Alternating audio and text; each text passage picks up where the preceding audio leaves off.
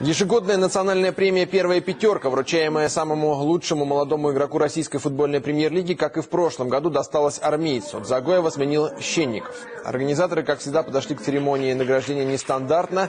Если в прошлый раз Загоев катался на карте, то сейчас Щенникову подарили казачью форму.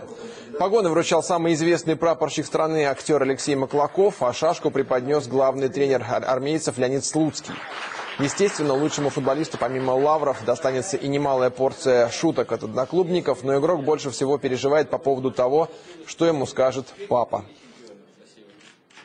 Наверное, дома «Привет, папа» шутить будет, как всегда, надо мной. Мне нравится в этом образе больше, чем в образе мушкетера. Так что я себя комфортно чувствую с погонами.